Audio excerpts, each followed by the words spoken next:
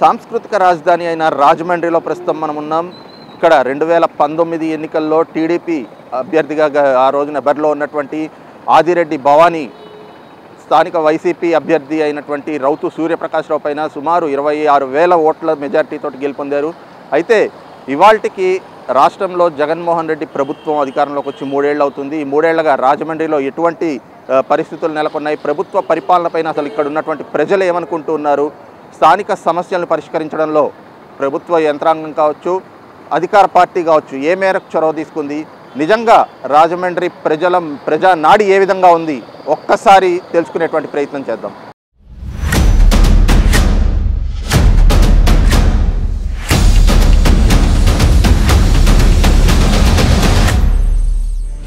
పరిపాలన గతంలో ఎలా ఉండేది ఇప్పుడు ఎలా చూస్తున్నారు? ఏంటి? పాలు ఇచ్చే గేదెని వదులుకున్నారండి ఈ జనాలు ఆ? తన్నించుకునే అని అంటారు దూడ ఏంటి? దున్నపోతు తెచ్చుకున్నారండి. నేను రా- రాజశేఖర రెడ్డి అభిమానినేనండి జగన్ గారు ముప్పై సంవత్సరాలు పరిపాలిస్తారు అనుకున్నాం. కానీ ముప్పై సంవత్సరాలు కాదు మూడు సంవత్సరాల్లోనే తిరగబడుతున్నారు ప్రజలందరూ. ఏమీ లేదండి. చెత్త మీద పన్ను ఈట్ల మీద పన్ను ముక్కు మీద పన్ను మూతి మీద పన్ను. ఆఖరికి ఉడుకుంటే దాని మీద కూడా పన్ను వేస్తాడు ఈయన కొన్నాళ్ళు పోతే.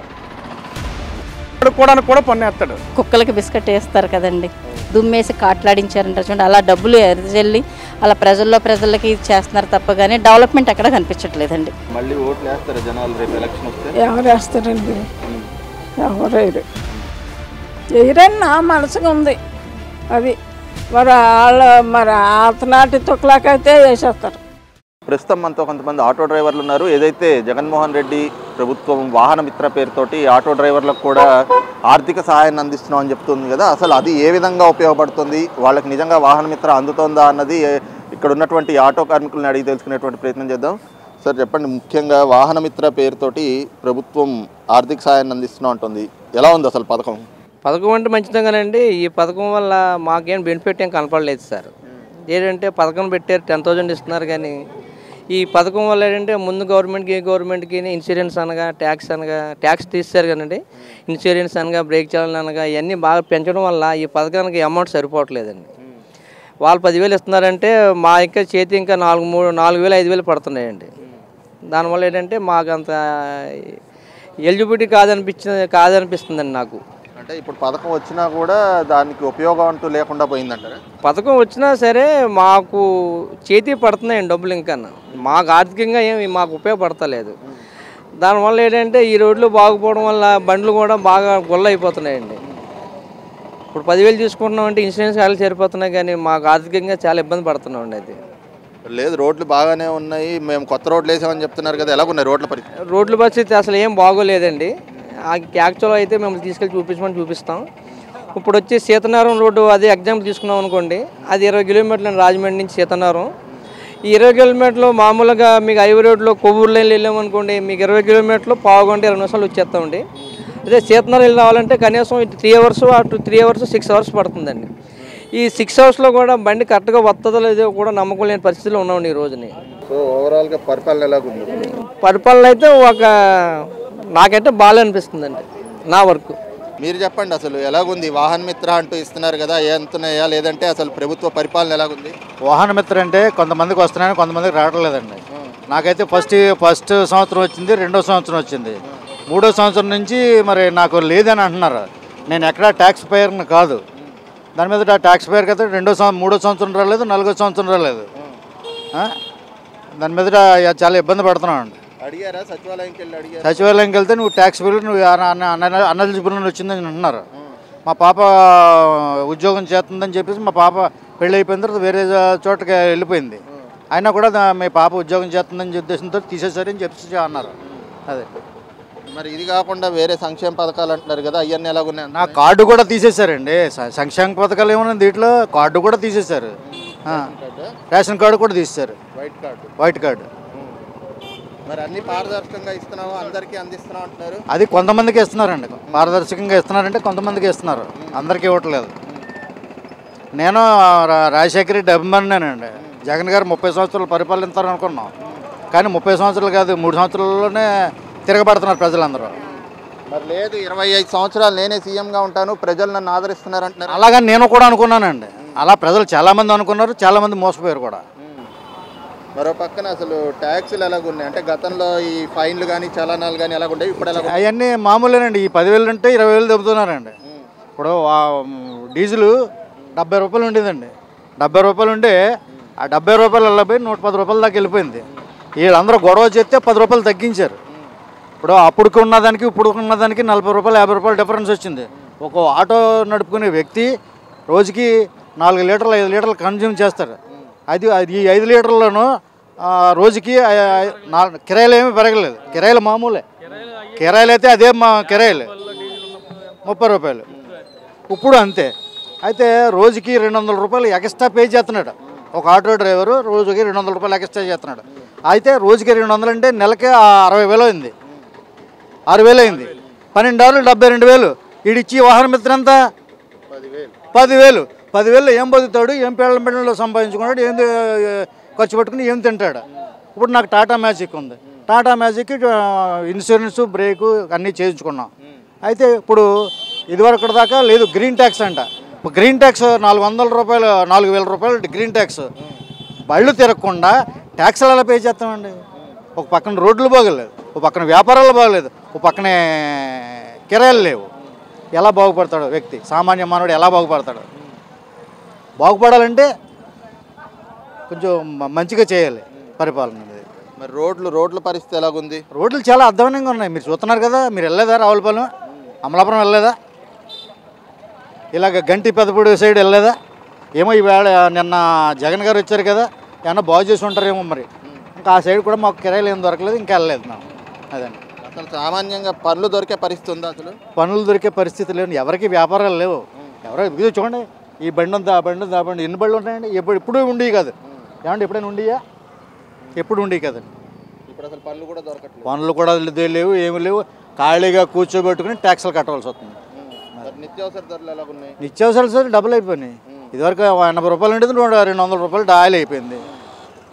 అసలు కొనుక్కుని తినేటట్టు ఉందా బయట పరిస్థితి? కొనేటట్లేదు తినేటట్లేదు. గద్దర్ గారు పాడారు ఏం కొనేటట్లేదు ఏం తినేటట్లేదు అని. మహానుభావుడు. ఇప్పుడు ఇలాంటి పరిస్థితుల్లో మరి పరిపాలన గురించి చెప్పాలంటే ఏం చెప్తారు? పరిపాలన గురించి అంటే ఏం చెప్తామండి? ఎవ- ఎవరు వచ్చినా అదే పరిస్థితి. అంటే గతంతో పోలిస్తే ఇప్పుడు ఎలాగుంది? గతంతో చూస్తే వెరీ బ్యాడ్ అండి. గతంలో ఎలాగుండేది పరిపాలన? గతంలో పర్వాలేదు. పర్వాలేదు మామూలుగా బతికేవారు. ఇప్పుడు ఆ బతకడానికి కూడా ఛాన్స్ లేకుండా చేసేసింది ఈ ప్రభుత్వం. మరి ఈయనేమో నూట డెబ్బై సీట్లు వస్తాయంటున్నారు వస్తాయి ఈయనకి జగన్ గారికి ఆయనకు వస్తాయేమోనండి మరి. మన మామూలుగా అయితే ప్రభుత్వం రా రాదు. నైంటీ నైన్ పర్సెంట్ రాకపోవచ్చు. అదండి. ఎన్ని సీట్లు రావచ్చు ఎన్ని సీట్లు అంటే అసలు పరిపాలన బాగుంటాయి కదండి సీట్లు వచ్చేది అసలు అక్కడ భోజనం ఇంట్లో అమ్మ మా అమ్మ భోజనం వండలేదు అమ్మ అది భోజనం పెట్టమని అలాగ అడుగుతాం మనం ఉమ్. అడగలేం కదా ఉమ్. చాలా దారుణంగా ఉందండి ఉమ్. ఇలా జర్నీ చేయగలుగుతున్నారు అసలు అబ్బాయి అది అసలు ఇది ఇలాంటి జర్నీ ఉమ్. హార్డ్ హార్డబుల్ జర్నీ. ఎక్కడి నుంచి వస్తున్నారు మీరు? జంగారెడ్డిగూడెం అండి. జంగారెడ్డిగూడ నుంచి వస్తున్నారు. ఎంతసేపు పట్టింది జర్నీ? జంగారెడ్డిలో పొద్దున్న ఎనిమిదింటికి స్టార్ట్ అయ్యామండి. మామూలుగా అయితే ఎంతసేపు పడుతుంది ఇక్కడికి? ఇక్కడికి త్రీ అవర్స్ పడుతుందండి. ఇప్పుడు మీరు పొద్దుట ఎనిమిదింటికి బయలుదేరితే ఇప్పటికి వస్తున్నారు. ఇప్పటికి ఇక్కడికి వచ్చాం. మరి ఇంకో పక్కన ప్రభుత్వం చెప్తుంది ఎక్కడికక్కడ కొత్త రోడ్లు వేస్తున్నాం అన్నీ బాగానే ఉన్నాయని మీకు అలాంటి పరిస్థితులు కనిపిస్తున్నాయి అసలు. ఏం కనపట్లేదండి? ఏం- ఎలా ఉన్నాయండి రోడ్లు? రోడ్లు చాలా చెత్తగా ఉన్నాయి. ఉయ్యాల జర్నీ చేస్తుంటే ఎలాగుంది అసలు? ఉయ్యాల జంపాలు వేసినట్టుగా ఉంది. చాలా అసహ్యంగా ఉంది. అసలు జర్నీ చేయగలిగే పరిస్థితి అసలు జర్నీ చేయలేని పరిస్థితి అండి. డ్యూటీలకు వెళ్ళాలంటే ఇంకా తప్పదు. ప్రాణాలతో చెలగాటాల చెలగాటం అన్నట్టే ఉంది. ఆ పరిస్థితి అండి. మరో పక్కన ఎమ్మెల్యేలు కూడా చెప్తా ఉన్నారు పూర్తిగా రోడ్లన్నీ బాగానే ఉన్నాయి బాగాలేదని చెప్తున్న వాళ్ళంతా కూడా ఎర్రోళ్ళు అన్నట్టు మాట్లాడుతున్నారు కదా ఏం చెప్తారు? లేదండి. చాలా రోడ్లు అసలు అధ్వానంగానే ఉన్నాయి. ఎక్కడ వేసిన దాఖలాలు ఎక్కడా లేవు. ఒకవేళ రోడ్లు శాంక్షన్ అయినా చాలా డిలే అయిపోతున్నాయండి. ఎప్పుడు? దేనివల్ల డిలే అంటే మరి అవి మరి ఆ బడ్జెట్లు రిలీజ్ అవ్వకో వేరే వేరే ఏదో తెలియదు కానీ తెలియదు కానండి ఎప్పుడో ఈ రోడ్డు ఎప్పుడో అయిపోవాలండి. అయినా ఇప్పటి వరకు అవ్వలేదు? ఈ రోడ్డు ఆ, దగ్గరికి ఒక వన్ ఇయర్ నుంచి ఎలాగ ఉంది? వన్ అండ్ హాఫ్ ఇయర్ నుంచి. లేదు లేదండి. ఏదో రోడ్ శాంక్షన్ అయిందన్నారు. ఇంకా అంతేనండి అప్పటి నుంచి గోతులు తవ్వడం వేయడం తప్ప వేరే ఇంకేమీ లేదండి. ఈ రోడ్లో జర్నీలు చేస్తే వెహికల్స్ పరిస్థితి? వెహికల్ కూడా పోతున్నాయండి. వెహికల్ కూడా ఎక్కడెక్కడ ఆగిపోతున్నాయి. అవి మళ్ళీ చేసుకొని రిపేర్ చే మళ్ళీ మెకానిక్ని తెచ్చుకొని అవన్నీ చెక్ చేసుకొని తీసుకెళ్ళవలసి అవుతుంది దైనంగా ఇది ఈ రోడ్లో బండి లేకపోతే మేము డ్యూటీలు చేయలేము. రాలేము. రాకపోకలు కూడా ఇబ్బందేనండి. మాకు ఎన్నాళ్ళు అయితే మాకు రాజమండ్రి నుంచి సీతానగరం వెళ్ళాలంటే ఫార్టీ ఫైవ్ మినిట్స్ పట్టేది ఫార్టీ ఫైవ్ మినిట్స్. ఇప్పుడు వన్ అండ్ హాఫ్ వరకు అవుతుందండి. వన్ అండ్ హాఫ్ అవర్ పైన ప- పడుతుందండి. ఇంకో పక్కన మళ్ళీ మేమే అధికారంలోకి వస్తాము. ఇంటర్వ్యూ కూడా పేకలేరు అంటున్నారు కదా. అలాగే అంటారండి. ఎవరి కాన్ఫిడెన్స్ వాళ్ళకే ఉంటుంది. అది ప్రజల నా ఇదిని బట్టి ఉంటుందండి. రేపు ఎలక్షన్ పరిపాలన మళ్ళీ ఇంకోసారి అధికారంలోకి వచ్చేటట్టు కనిపిస్తుంది ఆ, అధికారం అంటే అధికారంలోకి రాదండి. ఏ ప్రభుత్వం కూడా పూర్తిగా ఇది మన ఆంధ్రప్రదేశ్లో ప్ర- ప్రతి ఏ ప్రభుత్వానికి కూడా సరైన ఇది లేదండి. గతంలో ఎలాగుండేదండి పరిస్థితి? ఇప్పుడుతో పోల్చుకుంటే గతంలో ఎలాగుండేది? ఇప్పుడు ఎలాగుంది? గతంలో అయితే కొద్దిగా పర్లేదండి. ఒక ఉద్యోగస్తులకు ఒక విలువ గౌరవం ఉండేది. ఈ ప్రభుత్వంలో అదేమీ లేదండి. మరి చెప్పండి అసలు రాష్ట్రంలో వైసీపీ పరిపాలన ఎలాగుంది? అసలు ఏమీ బాగాలేదండి. ఆయన మెయిన్ ఏంటంటే ఆలవల్ల కానీ నువ్వు కానీ వాళ్ళు ఎవరో పట్టించుకుంటలేదు. ఏదైనా చెప్పేవంటే మున్సిపాలిటీ నువ్వు బండి అయితే నువ్వు వేసుకోవడమే తప్ప ఆలవలు తీసే వాళ్ళు వేరే అని చెప్తున్నారు. వాళ్ళకి చెప్తేనేమో మనుషులు వేరేగా పంపిస్తామని అంటున్నారు. ఎవరికి వాళ్ళని విడివిడిగా చెప్పాల్సి వస్తుంది. చెప్పిన ఆలవల్ల దోవలు రావడం వల్ల జ్వరాలు కానీ డెంగ్యూలు కానీ ప్రతి ఒక్కరికి ప్రతి ఒక్కరికి ఇబ్బందిగానే ఉంది ఇప్పుడు ఇప్పుడు వచ్చి ఎవరో పన్నులు కట్టలేదు ఇప్పుడేమో ఆయన వచ్చిన ఆ, ఈ ప్రతి నెల యాభై రూపాయలు కట్టమంటున్నారు ప్రతి ఒక్కరు అలా కట్టలేరు కదండి ఇంత ముందు ఎప్పుడూ లేదు ఈ పరిపాలన ఇప్పుడు అలా వచ్చింది ఆ యాభై రూపాయలైనా అందరూ ఇవ్వగల శక్తి ఉండదు కదా ఇవ్వకపోతే పై- పైనుంచి మున్సిపాలిటీ నుంచి అట్లేదని అలాంటివి ఏమైనా ఉంటే మళ్ళీ పిల్లలు ఏమైనా ఆలస్యపులు కానీ అమ్మఒడి పథకాలు కానీ అవన్నీ అలా చూపించి అవి రద్దు చేస్తామని చెప్తున్నారు. మరి వాటికి వీటికి సంబంధం లేదంటున్నారు కదా? అలాగే అడిగామండి. అడిగితే ఇది ఏదైనా చూపించినప్పుడు మీ ఆధార్ కార్డ్ లింక్ ప్రకారంగా మీ ఏమున్నాయో మీరు అట్లేని అన్ని దాంతోపాటు జమ చేసి దానివల్ల ఈ ఆఫ్ చేస్తామని చెప్తున్నారు. డ్రైనేజీలు కూడా ఎవరో పట్టించుకుంటలేదు. ట్యాక్స్ కడుతున్నామని రేషన్ కార్డు కూడా తీసేశారు. మా మామయ్య గారి పెన్షన్ కూడా తీసేశారు. ఇలా చేస్తే మరి ఆడపిల్లలతో ఉన్న వాళ్ళు మేము ఎలా బతుకుతామండి? ఏదైనా షాప్ ఉన్నదంటే షాపులన్నీ మనం బతుదేరు కోసమే కదా పెట్టుకుంటాము ఆ బతుదేరు లేకుండా చేశారు. దానివల్ల మా పిల్లలకి ఏదీ రాలేదండి. మా ఆల్రెడీ నా ఇద్దరు ఆడపిల్లలు. ఇద్దరు ఆడపిల్లల డబ్బులు వస్తాయని అప్పట్లో అన్నారు. ఆ డబ్బులు కూడా ఇప్పుడు ప్రభుత్వం ద్వారా ఏదీ రాలేదు మాకు. ప్రతిదానికి మేము ఇప్పుడు ఆయన ద్వారా నష్టపోయే ఉన్నాం. ఇలా ఉంటే మరి వంద రోజులు పిల్లలకి ఫ్యూచర్ అన్నది ఉండాలి. అదండి. ఇప్పుడు రేషన్ కార్డు చాలా పిల్లల బెనిఫిట్ దాని ఈ బోల్డ్ ఉపయోగాలు ఉన్నాయి. దానివల్ల రేషన్ కార్డు తీసేస్తే మళ్ళీ పొద్దున్న పిల్లలకి ఏం చేయాలన్నా వాళ్ళు ఇబ్బంది కదండి. దానివల్ల మా పిల్లలకి మాకు కూడా ఏ ఏ విధమైన ఉపయోగం లేకుండా చేశారు. మరి మళ్ళీ ఓటేసే పరిస్థితి ఉందా ఈయనకి? ఆయన అయితే మాత్రం ఓటేసే సమస్య అయితే లేదండి. ఖచ్చితంగా ఇలా కట్ చేస్తే ఆయన ఎవరో ఎన్నుకోనే పరిస్థితి కూడా ఎవరికి రాదు ఎందుకంటే ఎవరైనా మంచితనం కుటుంబం అన్నది ప్రజల్ని పరిపాలించాలంటే ప్రతి ఒక్కరికి న్యాయబద్ధంగా వెళ్ళాలి అలాంటిది రేట్లు పెంచి ఇలాగా ఉన్న ఆధారం కూడా తీసేస్తే మంచి తరగతి వాళ్ళు అన్న వాళ్ళు ఎలాగా ఆయన ఎన్నుకోగలుగుతారండి ఏదైనా చంద్రబాబు ఉన్నప్పుడు ఇచ్చాడా అంటే ఆయన ఆయన రూల్స్ ప్రకారంగా ఆయన అన్ని పాటించాడు ఆయన తప్పు పట్టాలంటే ఆయన తప్పు పట్టడానికి ఏమీ లేదండి. ఆయన ఉన్నప్పుడు వచ్చి అయినా కొంచెం లేట్గా వచ్చాయి కానీ అమ్మఒడి పథకాలు అన్నీ వచ్చినాయి. కాకపోతే ఈయన వచ్చే ట్యాక్సీల ద్వారాగా కానీ కరెంట్ బిల్లు ద్వారాగా కానీ పిల్లలకి కానీ ఏదైనా సరే ఏమీ అమల్లో రాలేదండి. మాలాంటి వాళ్ళు మరి బతకాలంటే అలాంటివి చూసుకోవాలి కదా.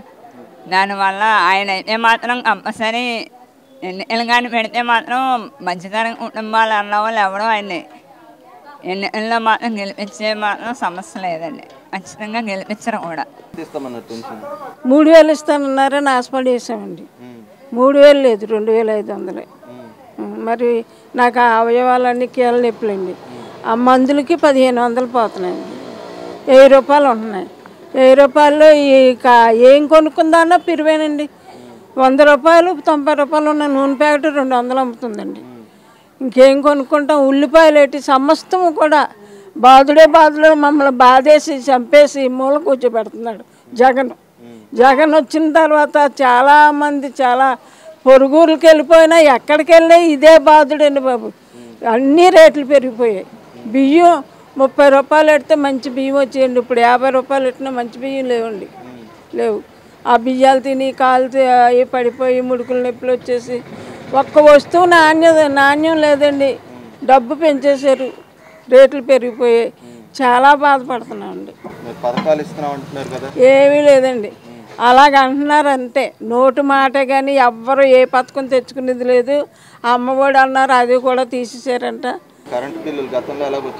వస్తుంది అయ్యో బాబు ఊనింటికి ఎంత అని పెంచేసాడండి చాలా పెంచేసాడు ఫ్యాన్ వేసుకున్నా వేసుకోకపోయినా బిల్లు మామూలుగా వచ్చేస్తుంది. వాడకపోయినా సరే. మరి ఇంకా ఈ ప్రభుత్వం పోతే కానీ మా బాగుపడదండి ప్రపంచం. మేము ఒకటే ఏమో హాస్పిటల్. ఆ మాట చెప్పారు ఇప్పుడేమో అన్ని పథకాలు ఇస్తున్నాం ప్రజలు మళ్ళీ నిజంగా పరిస్థితి ఉందా? లేదండి. వేయరు ఒకవేళ మగమాటంగా పైకన్నా అక్కడికి వెళ్ళేసరికి వేయరండి వేయరు ఈసారి రాడండి. మరి ఇరవై ఐదు సంవత్సరాలు సీఎంగా ఉంటానని చెప్తున్నాడు ఆయన. ఆయన చెప్తున్నాడు రౌడీజం కదా మరి. దౌర్జన్యం రౌడీ రౌడీజం. ఎక్కడ ఎలక్షన్ పెట్టనివ్వలేదు. ఏకగ్రీవంగా ఎన్నుకోవాలని మొత్తానికి కంకణం కట్టుకున్నాడు. చక్రం తిప్పాలనుకుంటున్నాడు ఆయన. మొత్తానికి అంతాను. కానీ అతను ఎక్కడ ఎలక్షన్ పెట్టనివ్వలేదు. ఎలక్షన్ తెలుగుదేశం నిలబడదాన్నా వాళ్ళని కొట్టే తిట్టి నానా హత్యలు చేసి నానా విభజన చేస్తున్నాడు. అది. దీన్ని బట్టి మనం ఏమనుకోవాలంటే అంతా రౌడీ పరిపా పరిపాలన రౌడీజం వచ్చింది దౌర్జన్యం వచ్చింది. అంతే. ఇంతకుముందు ఎప్పుడైనా ఇలాగ ఉండేదా? ఎప్పుడూ లేదు. చంద్రబాబు ఉంటుండగా తండ్రి బా బాగానే పరిపాలించాడు. చాలా బాగా చేసేటండి. అన్ని విధాలా కూడా మన వరదలు వచ్చాయంటే మరి రాజమండ్రిని అంత ఇదిగానే ఇదివరకు గట్టి పెంచబెట్టి ఇప్పుడు రాజమండ్రి నిలబడదు అదండి. ఈయనుంటే ఎప్పుడో కొట్టుకుపోను కొట్టుపోయిన దేశాల మట్టుకు ఇప్పుడు ఏం చేస్తున్నాడండి? ఏమీ లేదు కదా. చూస్తున్నాడు ఆకాశం నుంచి. అంతే. మళ్ళీ ఓట్లు వేస్తారా జనాలు రేపు ఎలక్షన్ వస్తే? ఎవరు వేస్తారండి? ఎవరేరు చేయరని నా మనసుకు ఉంది. అది. మరి వాళ్ళు మరి ఆతనాటి తుక్లాకైతే వేసేస్తారు. అది. జనాలు కూడా తుక్లాకలు అయితే వేసేస్తారు. అది. అమ్మ ఇప్పుడు ఈ ప్రభుత్వ పథకాలు అని చెప్పేసి అని చెప్పి చెప్తా ఉన్నారు కదా. అవునండి. అసలు ఏమైనా పథకాలు? అందేయండి. చెప్పబోతుందుకు అబద్ధం ఎందుకు కడుకోవాలని అందేయండి. అందిని సో ఇప్పుడు ఎడం చేత్తో ఎత్తున్నాడండి. కుడి చేతులు అక్కడ అయిపోయిందండి. ఆ డబ్బులు ఇచ్చినాడు ఇచ్చినాడు. దాని మీద కరెంట్ బిల్లు వేసాడు. నిత్యాతులు నేను ఇప్పుడు వెళ్ళి వ్యాపారం పెట్టుకున్నానండి. వాటికి ఒక డబ్బులు ఉండాలి కదండి. నేను కొనుక్కోలేకపోతున్నానండి. ఆ డబ్బులు అలా బ్యాంకులకి అట్లా కట్టేవలసి వస్తుందండి తక్కువ వడ్డీ అంటున్నారండి. తక్కువ వడ్డీలో అదే మునిగిపోతున్నామండి. అందుకని ఏటో నాకు అర్థమవుతలేదు చెత్తకు డబ్బులు అంటున్నాడు లేకపోతే రేషన్ అంటే ఎక్కడ పడితే అక్కడికి వెళ్తున్నాం. మేమేమో నడలేను మోకాలు నొప్పులు. ఆడేమో రమ్మంటాడు అక్కడికి ఇక్కడికి వచ్చి ఇచ్చివాడు రెండు రోజులు ఫస్ట్లో ఇచ్చాడు. తర్వాత ఎత్తం మానేసాడు. పంచదార అంటాడు. అది ఎత్తలేదు. కందిపప్పు అంటున్నాడు. ఒక్కొక్క నెల ఎత్తాడు ఒక్కొక్క నెల ఇవ్వడు? బియ్యమే ఓ నెల బియ్యమే ఎత్తాడు ఒక్కోసారి. మళ్ళీ నెలాకని ఎత్తానమ్మా ఇప్పుడు అయిపోయి అంటున్నాడు. నిత్యవసరాల సరుకులు అంటే నేను అలాంటి నెల కొనుక్కోగలండి ముగ్గురు పిల్లలు. మా అమ్మాయి చూస్తే ఇంట్లోనే ఉంటుందండి. మరి వాళ్ళ నలుగురిని చూ పూసుకొని మా మొగుడు పిల్లలు కష్టపడితే కానీ దవ్వదు. ప్రభుత్వ పాలన అయితే అస్సలు బాగాలేదు సార్. నిత్యావసర వస్తువులు ధరలు బాగా పెరిగిపోయాయి. ఎప్పుడు కని విరగి ఎరగని చెత్త పన్ను కూడా వేయడం ఎక్కడ చూడలేదండి. ఈ ప్రభుత్వం వచ్చాక ఈ చెత్త పన్నులు ఏంటి అన్నీనండి. తర్వాత ఏమో రుణమాఫీ అన్నారు. రుణమాఫీ ఎవరికి చేశాడండి? ఎవరికి చేయలేదు. అదే చంద్రబాబు నాయుడు గారు అయితే అందరూ సమానంగా చేసేవారండి. ఆయన పాలనే బాగుందండి. ఎవరికి అందుతున్నాయండి? ఇంటి పన్ను ఎక్కువ వస్తే పథకాలు లేవన్నారు. కరెంట్ బిల్లు ఎక్కువ వస్తే అమ్మఒడి లేదని అంటున్నారండి. ఇలా పెట్టాడు కానివ్వండి ఎవరికి సరిగ్గా అందట్లేదండి. దానివల్ల ఏ ఉపయోగాలు లేవండి. మనుషులు ఆకట్టుకోవడానికి అలా చేశాడు కానీ మనుషులు ప్రజల్లో మాత్రం మంచి అభిప్రాయం అంటూ లేదండి.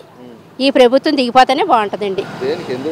ఇది పాలన ఏం బాగుందండి? పరిపాలన ఏం బాగాలేదండి అభివృద్ధి ఏం చేయలేదు. దానివల్ల అందరూ విసిగిపోయే ఉన్నారండి. ఇప్పుడు ఈ పథకాలు అని చెప్పేసి పథకాలు ఇస్తా ఉన్నారు కదా అవి ఎలాగున్నాయి అసలు? పథకాలు అని చెప్పడానికి బాగానే ఉన్నాయి కానీ కరెక్ట్గా అవి సద్వినియోగం చేసుకుంటలేదండి వచ్చిన అమౌంట్ని. ఇప్పుడు సపోజ్ అమ్మఒడి ఉంది పిల్లలకి డబ్బులు వేస్తున్నారు. అవి పిల్లలు కరెక్ట్గా డబ్బులు పిల్లల చదువులకు ఉపయోగిస్తున్నారంటే చ- చదువులకు ఉపయోగించట్లేదండి. తాగుబోతు తండ్రులు ఉంటున్నారు. అందరూ లో క్లాస్ అదే పీపుల్సే కదండి. అవన్నీ కూడా వాళ్ళ నిత్యావసరాలకి వాళ్ళ అవసరాలకి చేసుకుంటున్నారు తప్ప డబ్బులు ఆ చదువుకు మాత్రం ఉపయోగించట్లేదండి. అప్పుడు అదే అందరికీ పెన్షన్లు. వీడియో పెన్షన్ అవనివ్వండి. న్యాయబద్ధంగా వచ్చిన వాళ్ళు ఉపయోగించుకుంటున్నారు. అవి డబ్బులు చేతికి ఇవ్వడం అనేవి చాలా ప్రజలు సోమరులు చేస్తున్నాయండి. ఏదైనా డబ్బులు పంచడం అనేది తప్పు. ఒక పని కల్పించాలి. ఒక ఉద్యోగం కల్పించాలి ఒక ఉపాధి కల్పించాలి శ్రమ పడాలి కష్టపడితే డబ్బులు వస్తాయనే భావన రావాలి. అలా ఉంటే డెవలప్మెంట్ ఉంటుంది. కూర్చుంటే డబ్బులు బాగానే వస్తున్నాయి. అని అనే దాంతో ప్రజలు సోమరులాగా ఉండిపోయి డెవలప్మెంట్కి ఇంకా ఎక్కడ ఏదైనా డెవలప్మెంట్కి అవకాశం ఉండదండి. ప్రభుత్వ పరిపాలన ఎలాగుంది? ప్రభుత్వ పరిపాలన అంటే సార్ ఎక్కడైనా అసలు అభివృద్ధి అనేది కనిపిస్తుందా?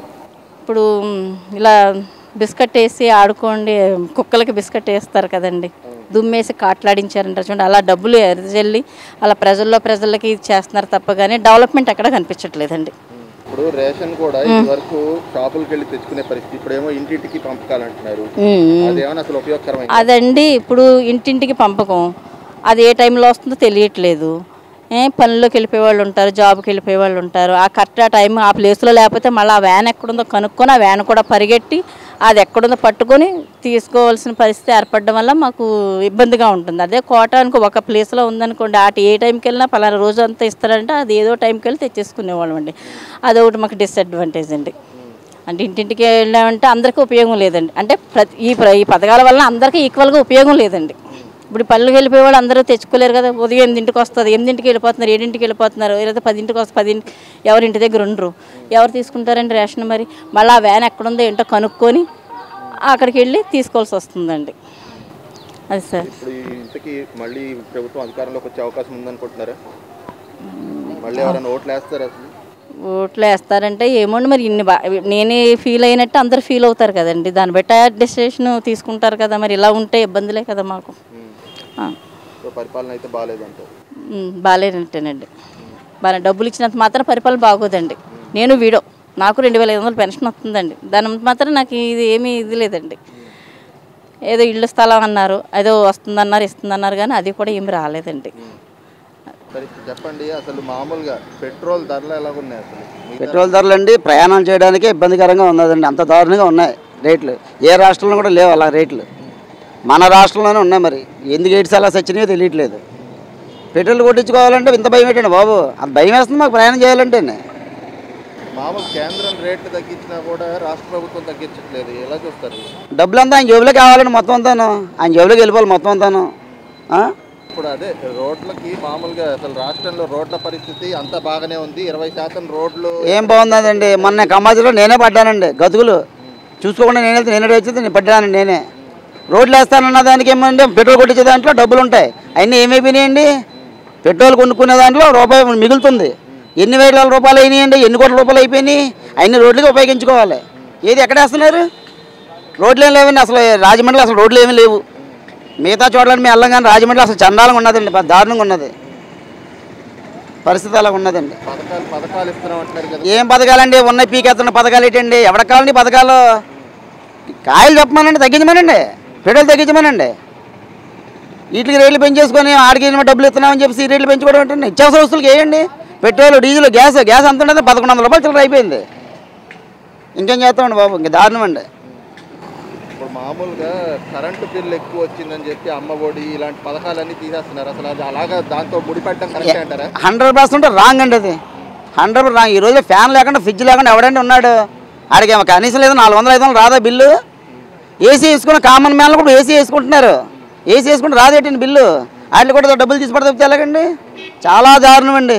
ఇంత దారుణంగా గవర్నమెంట్ ఎప్పుడు చూడలేదు. చాలా వరస్ట్ గవర్నమెంట్ అండి ఇది చాలా వరస్ట్ అండి. చేసుకొని చక్కగా అందంగా చేసుకోవాలి పరిపాలన. ఇలాగా సామాన్య మాలను కూడా ఇబ్బంది పెట్టడం ఏంటండి? చాలా దారుణం అండి ఒక్క ఛాన్స్ అండి ఒక ఛాన్స్ ఒక్క ఛాన్స్ ఇంకా. మళ్ళీ జీవితంలో ఇవ్వకూడదండి వీడికి ఛాన్స్. నేను చెప్తున్నా కదండి జీవితంలో ఇంకొక ఛాన్స్ ఇవ్వకూడదండి. ఇచ్చిన జనాలందరూ కూడా మళ్ళీ ఎరిపప్పులు అయిపోతారండి ఎత్తి మీద బస్ మసలు వస్తాం పడుతుందండి. ఎవరు కూడా ఓట్లు వేయడానికి కూడా నా నా అభిప్రాయం చెప్తున్నానండి. అస్సలు. మామూలుగా అసలు మంత్రులు కానీ నా వైసీపీ నాయకులు కానీ మాట్లాడుతున్న మాటలు ఎలాగున్నాయి? చెత్త అంతా కూడా వాళ్ళంతా అబద్ధాలండి. అన్నీ అబద్ధాలే. వాళ్ళు చెప్పేది ఒకటి వాళ్ళ పేపర్లో వచ్చేది ఒకటి ఇది ఒకటి. సంబంధం లేదండి. అసలు అంబటరాంబాబు ఏం చెప్తున్నాడండి? అసలు ఆ ధై- ధైర్యం ఉన్న మాటలేనా? అసలు మాటలన్నీ కరెక్ట్ కాదండి. అసలు జగన్మోహన్ రెడ్డి కరెక్ట్ కాదండి. అదండి. అసలు మూడేళ్ళుగా చూస్తుంటే మా పరిపాలన ప్రజలు మెచ్చుకుంటున్నారు. మళ్ళీ మేమే అధికారంలోకి వస్తా రమ్మనమనండి అదే అధికారం ఎలా వస్తాడు చూస్తానండి. నూట డెబ్బై సీట్లు ఎలా డబ్బా కొట్టుకుంటాడండి? ఎలా కొట్టుకుంటాడు చెప్పండి నూట డెబ్బై సీట్లను? కానీ ఈ రోజున అందరికీ పథకాలు ఇస్తున్నాం ప్రజలు సంతృప్తిగా ఉన్నారంటున్నారు. ఎవరు సంతృప్తి ఉన్నారండి? ఎవరు ఉన్నారండి? సామాన్య కా మా కామన్ మ్యాన్గా చెప్తున్నానండి? ఏం సంతృప్తి ఉన్నదండి? ఎవరన్నాడు నన్ను కాదు ఎవరన్నా అడగండి. ఏం తింటేటట్టు ఉన్నాయండి బాబు? ఏం తింటాము? ఇంట్లో పాల డబ్బాలు రేట్ ఎక్కువ మందులు అన్నీ రేట్ ఎక్కువైనాయండి బాబు. ప్రతిదీ రేటు పెరిగిపోయినాయి. దారుణమైన రేట్లు అనమాట మద్యపాన నిషేధం కూడా చేస్తా ఉన్నారు. ఎక్కడ మద్య నిషేధం చేశాడండి? నిన్న మళ్ళీ మళ్ళీ పేపర్లో చదివాండి నేను మళ్ళీ ప్రైవేట్ మళ్ళీ ఇచ్చేస్తాడు గవర్నమెంట్ మళ్ళీ క్యాన్సిల్ అట. ఆ, డబ్బు డబ్బు కావాలి కదా డబ్బులు కావాలి సూట్ కేసు ఇచ్చేస్తారు మళ్ళీ ప్రైవేట్ వాళ్ళకి ఇచ్చేస్తారండి. ఈ ఏంటి జనాలకి అయినా తెలియదు అనుకుంటున్నారండి చంద్ర జగన్మోహన్ రెడ్డి గారు. రాంగ్ అండి అది. జగన్మోహన్ రెడ్డి గారు అన్నీ తెలుసండి? వస్తాయి సార్ నూట డెబ్బై అంటున్నాడు కదా ఏమొస్తాడో చూస్తామండి మేము కూడా. అసలు పరిపాలన గతంలో ఎలా ఉండేది ఇప్పుడు ఎలా చూస్తున్నారు? ఏంటి? పాలు ఇచ్చే గేదెని వదులుకున్నారండి ఈ జనాలు? తన్నించుకునే గే- దాన్ని ఏమంటారు పే- దూడ ఏంటి? దున్నపోతు తెచ్చుకున్నారండి. అది ప్రజలు గ్రహించుకోవాలి ప్రజలు ఆలోచించుకోవాలి. ఆ? ప్రజానిర్ణయం డెఫినెట్గా మారుతుందండి. ప్రజానిర్ణయం మారుతుంది అందరిలో మార్పు వస్తుంది. ఈ మార్పు ఇలాగే వస్తుందని కూడా నేను కూడా ఆశిస్తున్నానండి. పరిపాలన అండి ఇది అసలు అసలు ఇది పరిపాలన అనిపించుకుంటుందండి. రాష్ట్ర వ్యాప్తంగా పరిపాలన జరుగుతుందని ఆయన అనుకుంటున్నాడు ఆయన రూమ్లో కూర్చొని. ఒకసారి వచ్చి రోడ్ల మీద తిరగమనండి. తిరిగితే తెలుస్తుంది అసలు పరిపాలన ఏం జరుగుతుందనేది. రాష్ట్రంలో రోడ్ల పరిస్థితి అధ్వానంగా ఉంది. ఇలాంటి రోడ్ల మీద ఒక్కసారి ఒక రోజు కాకపోతే ఒక రెండు రోజులు ప్రయాణం చేస్తే జగన్మోహన్ రెడ్డి గారికి నడుము అడిపోద్ది అలా ఉన్నాయి రోడ్లు. రోడ్లు వేసామంటున్నారు. ఎక్కడ వేసారండి రోడ్లు? తాడేపల్లిగూడెం రాజమండ్రి రోడ్డు చూడండి. నిడదోలు రోడ్డు చూడండి. అలాగా సీతానగరం రోడ్డు చూడండి. అన్ని రోడ్లు కూడా వరస్ట్గా ఉన్నాయండి. ఈ రోజుల్లోనే ఇలాంటి పరిపాలన నా జన్మలో నేను చూడలేదండి. నా నేను దాదాపు ఒక ఐదారు ఓట్ల ఎలక్షన్లకి నేను ఇలాగ ఇచ్చేసాను ఇంత దరిద్రమైన పాలన ఎక్కడా చూడలేదు. ఇలాంటి పరిపాలన వస్తుందని నేను అనుకోలేదు. మళ్ళీ రాదు కూడా గ్యారంటీ నేను చెప్తున్నాను. అదే సంక్షేమ పథకాలు ఇస్తున్నాం అంటున్నారు కదా. ఏంటండి? పెట్టిన కొట్టి పొయ్యిలో పెడుతున్నాడు ఆయన. ఆయన ఏం చేస్తున్నాడు చెప్పండి? పదివేలు ఇస్తున్నాడు. ఇరవై వేలు లాక్కుంటున్నాడు. అది పదివేలు ఇచ్చాడండి ఆటో వాళ్ళకి కరెక్టే. ఆ పదివేలు ఆడు ఆ సీతానగరం రోడ్డుకి వెళ్తే హౌసింగ్ ఇరిగిపోద్ది. ఇరవై వేలు వద్దడికి ఆడికి. పదివేలు దేనికి ఉపయోగపడతాయి చెప్పండి? ఉపయోగపడ్డవు. ఎట్టి పరిస్థితుల్లో ఉపయోగపడవు. ఇలా ఉపయోగపడుతుందని నేను చెప్పాను అనుకుంటున్నాడు కానీ ఇలాంటి సంక్షేమ పథకాలు పెట్టి ప్రజలను సోమరపోతులను చేస్తున్నాడు అతను. కరెక్టే. వృద్ధులకి ఇవ్వండి వాళ్ళు ఏదో ఇచ్చేసుకుంటున్నారు రైతులకి ఇవ్వండి తప్పులేదు అంతేగాని అందరికీ ఇచ్చేసి సోమరపోతులను చేసి ఒక ఇంట్లో నలుగురు ఐదుగురు పెన్షన్లు తీసుకున్న వాళ్ళు ఉన్నారని నాకు తెలిసి. మా ఏరియాలోనే. ఒక ఇంట్లో ఒకళ్ళు వికలాంగులని ఒకళ్ళేమో వృద్ధాప్యం అని ఇయ్యని అయ్యని బోల్డ్ అని మందికి ఇస్తున్నారు. ఎందుకు ఇస్తున్నారు? ఒకే ఇంట్లో నాలుగైదు పెన్షన్లు ఎందుకండి? ఇప్పుడు నిజంగా వృద్ధురాలు ఆవిడ పోషించుకోలేదు కాబట్టి ఆవిడకి ఇమ్మనండి. తప్పు లేదు. వితంతువు ఇమ్మనండి. తప్పు లేదు. ఇప్పుడు ఆ ఇంట్లో రెండు పెన్షన్లు కానీ ఒక పెన్షన్ కానీ ఉందంటే ఇంకో పెన్షన్ ఆఫ్ చేయాలి. ఇంకోళ్ళకి ఎవరికన్నా ఉపయోగపడుతుంది కదా. అలాంటివి చూడమనండి. గ్రౌండ్ వర్క్లు ఏమీ లేదు సార్. అనుకుంటున్నాడు ఆయన సంక్షేమ పథకాలు ఏ అమలైపోతున్నాయని చెప్పి. అమలవుతున్నాయన్నీ కూడా నిష్ప్రయోజనం ఓ రకంగా చెప్పాలంటే. ఇంకో పక్క సంక్షేమ పథకాలకి కరెంటు బిల్లును ముడి కరెక్ట్ అది అదేనండి ఇప్పుడు పొమ్మన లేక పొగ పెట్టడం అంటారు దీన్ని. ఓ రకంగా చెప్పాలంటే పొమ్మన లేక పొగ పెట్టడం. అంటే నీకు ఇవ్వనరా అని చెప్పకుండా నీట్గా తొలగించడం. కరెంటు బిల్లు రూపంలోని అలాగే వెహికల్ రూపంలోని. ఇప్పుడు సామాన్యుడు అన్నవాడికి ఎవరికన్నా కరెంటు బిల్లు మూడు వందల యూనిట్లు సాధారణంగా వస్తుంది. దాన్ని సంక్షేమ పథకానికి అడ్డుపెట్టి అమ్మ ఒళ్ళు ఈ ఒళ్ళు అన్నీ ఆఫ్ చేయడం. ఏమండి? ఫస్ట్ స్టార్టింగ్లో ఇచ్చేటప్పుడు అందరికీ ఇచ్చాడండి.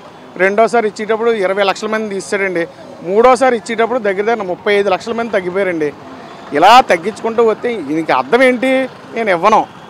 కానీ ఇస్తాను అన్నట్టు కలరింగ్ అంతే ఇదంతా ఒక పెద్ద బూటకం ఇదంతాను. ఆయన గ్రౌండ్ వర్క్లో చాలా బాగుంది నాకు లేబర్లో చాలా ఇది ఉంది అనుకోండి ఏమీ లేదు సార్. తింటారా? జనాలు ఎవడిచ్చినది అంటాడు చంద్రబాబు నాయుడు ఇచ్చినది అంటాడు పవన్ కళ్యాణ్ ఇచ్చినది అంటాడు జగన్మోహన్ రెడ్డి ఇచ్చినది తింటాడు. అందరూ ఇచ్చినది అంటారు అది ఎందుకు ఇవ్వాలి? ఇప్పుడు సామాన్యుడు పని చేసుకుంటున్నాడు. ఆడు పొద్దు నుంచి సాయంత్రం దాకా పని చేసుకుంటే ఒక ఆరు వందలు వస్తుంది. అంత ఎందుకండి? ఇప్పుడు ఈ రోజున ఇసుక కావాలంటే లాలా చెరువు సెంటర్లో పెద్ద ఎత్తున డంపింగ్ అయి ఉంది. అది ఎవరిది? అది ఇసుక. అధికార పార్టీకి చెందిన వాళ్ళది దాదాపుగా ఒక వంద టన్నులు అంటే దాదాపు ఒక ఇంకా ఎక్కువే ఉంటుందండి నాకు తెలిసి. ఈ రోజుని ఇదే సందులోనే ఒక ఇల్లు కట్టుకుంటున్నాడు సామాన్యుడు. ఆడికి ఇసుక లేదు ఈ రోజుని. ఆడు చిన్న ఇల్లు ఒక పదిహేను గజల్లో ఇల్లు కట్టుకుంటున్నాడు ఆడు. ఆడు ఈ రోజుని డెబ్బై రూపాయలు పెట్టి బస్తా కొనుక్కుని తెచ్చుకుంటున్నాడు. ఏటి దౌర్భాగ్యం? అప్పుడే ఇదే ప్రభుత్వం గోదావరి వస్తుందని తెలుసు అన్నీ తెలుసు. డంపింగ్ చేసి సామాన్యులకి పేదవాళ్ళకి ఇవ్వచ్చు కదా? ఎక్కడిస్తున్నారు? డెబ్బై రూపాయలు పెట్టి ఇసుక బస్తా కొనుక్కుని స్తోమతండి అడిది ఇసుక భారీ దోపిడీ. ఆ? చెత్తమే పన్నేటండి చెత్త. ఇప్పటికొచ్చి నా జన్మలో చూడలేదు ఇది. చెత్తమే పన్నా. ఇప్పుడు గవర్నమెంట్ వాళ్ళకి పక్కన ఉద్యోగాలకి జీతాలు ఇస్తున్నారు అన్నీ ఇస్తున్నారు. చెత్తమే మళ్ళీ పన్ను ఎందుకండి? అంటే ఒకవేళ చెత్తమే పన్ను వేసేస్తే వాళ్ళ ఇంట్లో ఏం తీసుకొచ్చి పడేసినా తీసేసుకుంటారా? ఏమీ లేదండి. చెత్తమే పన్ను ఈట్లమే పన్ను ముక్కుమే పన్ను మూతిమే పన్ను. ఆఖరికి కడుక్కుంటే దాని మీద కూడా పన్ను వేస్తాడు ఈయన కొన్నాళ్ళు పోతే. కడుక్కోవడానికి కూడా పన్ను వేస్తాడు.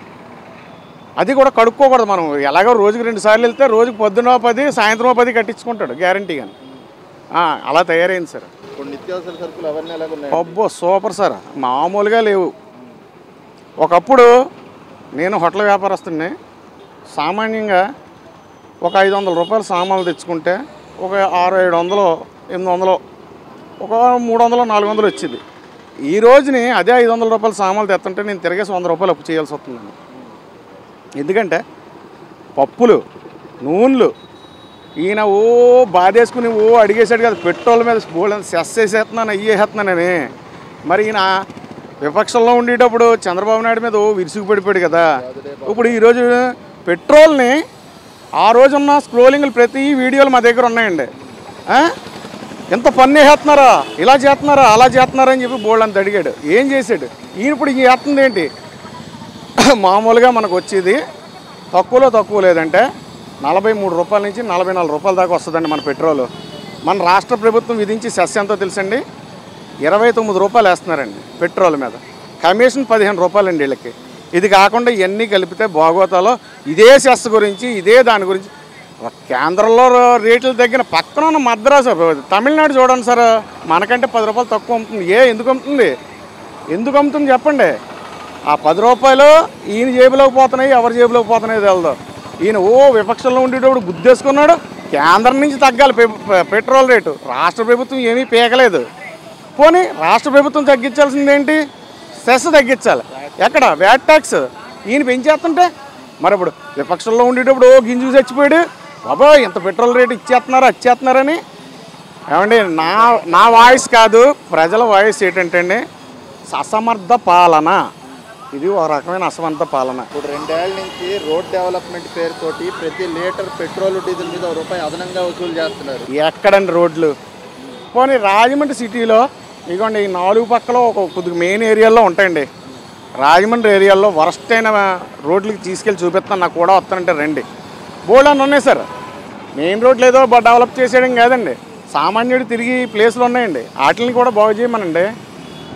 ఈ రోజుని అధికారంలోకి రాదు సార్ నూట డెబ్బై సీట్లు వస్తాయి ప్రజలు మాకు ఏమండి? చుట్టూ ఉన్న భజన పరులు వంద చెప్తారండి. ఆయన నూట డెబ్బై ఐదులు ఎక్కేసుకుంటున్నాడు. ఆ పైన ఉన్న ట్వంటీ ఫైవ్ సీట్స్ వస్తే పెద్ద గొప్పేనండి ఆయనకి. నూట యాభై సీట్లు తీసేస్తే పైన ఉన్న ఇరవై ఐదు వస్తే పెద్ద గొప్పే.